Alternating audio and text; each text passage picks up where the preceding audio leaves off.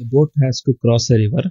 It crosses the river by making an angle of 60 degrees with the bank of the river due to the stream of the river and travels a distance of 600 meters to reach another side of the river.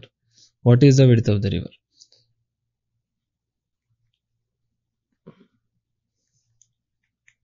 Let us consider this as river. So the width of the river, this is the width of the river and this is the direction in which the boat has traveled due to stream of the river.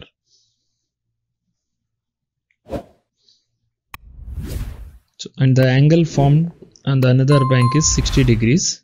So now we need to find the width of the river. Let us name the triangle A as ABC. So we have to find BC. With respect to this angle, the BC is opposite side and AC is hypotenuse. So we have the opposite side and hypotenuse.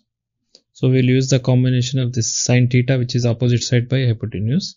So with respect to this angle we can write sine A is equals to opposite side BC by hypotenuse AC.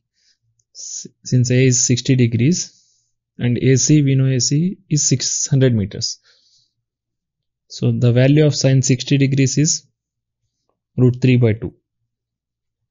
Now if we cross multiply here, if we transpose this 600 on the other side that will be root 3 by 2 into 600. So 2 1 times 2 300 times. So the BC is equals to 300 root 3.